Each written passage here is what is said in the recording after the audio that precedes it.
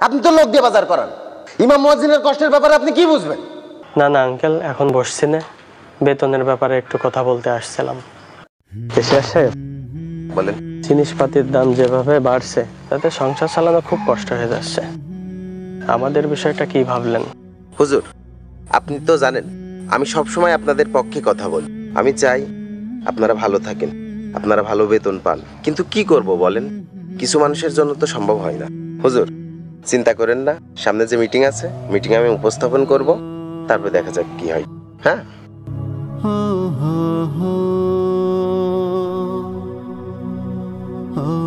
আলহামদুলিল্লাহ আমরা এই মসজিদটা চাটাই ঘরে শুরু করছিলাম।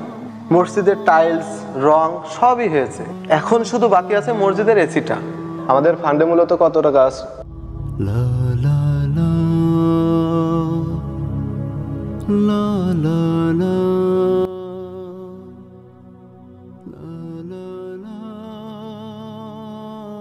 তাহলে তো ভালো ব্যাপার তাহলে তো এসি কিনেও তো টাকা বেঁচে যাচ্ছে তাহলে আর কি প্রস্তুতি গ্রহণ করা হোক সভাপতি সাহেব আমার একটা কথা আছে অনেকদিন হয়ে গেল আমাদের ইমাম মুয়াজ্জিনের বেতনের ব্যাপারে আমরা কোনো কথা বলি না আরে রাখো রাখো আগে যে প্রজেক্টটা হাতে নিয়েছো ওই প্রজেক্টটা শেষ করো তারপরে ওখান নিয়ে ভেবো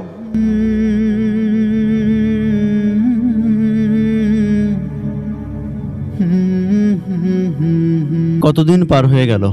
কমিটির কোনো লোকই আমাদের কথা ভাবছে না। এভাবে আর চলে না। আজকে সেক্রেটারি সাহেবের কাছে যাওয়া দরকার। সালাম আলাইকুম। ওয়ালাইকুম আসসালাম। আর ইমাম সাহেব যে আসেন আসেন ভিতরে আসেন। না না আঙ্কেল এখন বসছি না। বেতনের ব্যাপারে একটু কথা বলতে আসছিলাম। আসলে দেখেন সবই তো বুঝি। কি করব? কিছু লোকের জন্য তো হয়ে উঠছে না। যাক টেনশন করেন না সামনের মিটিং এ দেখছি ইনশাল্লাহ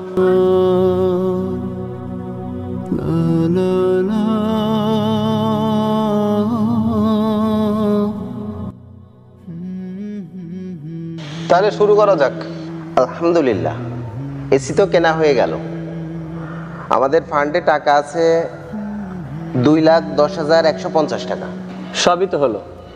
এবার আমাদের সব থেকে বড় বিষয়টা হলো ইমাম মুয়াজ্জিনের বেতনটা বাড়ানো। ঘুরে ফিরে তোমাদের শুধু এই একই কথা। ইমাম মজনের বেতন বাড়াও ইমাম বেতন বাড়াও। কেন? ওটা চলছে না? যে বেতন দিয়ে ওটা তো ভালোই চলছে। ওটা ওদের সমস্যা কি হচ্ছে? আচ্ছা আমি এখানে একটা কথা বলি। এই মসজিদে আমরা কয়েক কোটি টাকা ব্যয় করেছি। যখন যে বিষয়ে কথা হচ্ছে, তা সমাধান হয়ে যাচ্ছে। কেবল ইমাম মুয়াজ্জিনের ব্যাপারে কথা বললে আমরা তা সহ্য করতে পারি না। কেন? সভাপতি সাহেব এমন ভাব করে যে মনে হচ্ছে আমরা কমিটির কেউই না। আমাদের কোনো সিদ্ধান্ত আপনি নেন? আপনি তো বড় ব্যবসায়ী। আপনি বাজারে যান। আপনি তো লোক দিয়ে বাজার করান। ইমাম মুয়াজ্জিনের কষ্টের ব্যাপারে আপনি কি বুঝবেন? এই যে দ্রব্যমূল্যের যে ঊর্ধ্বগতি, আমরা কি কখনো তাদের কষ্ট জানার বোঝার চেষ্টা করেছি?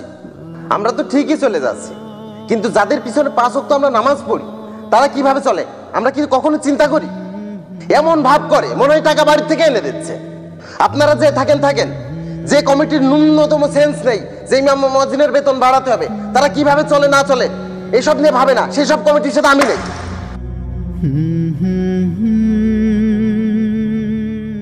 কতই না ভালো হতো কমিটির প্রতিটি লোকই যদি এমন হতো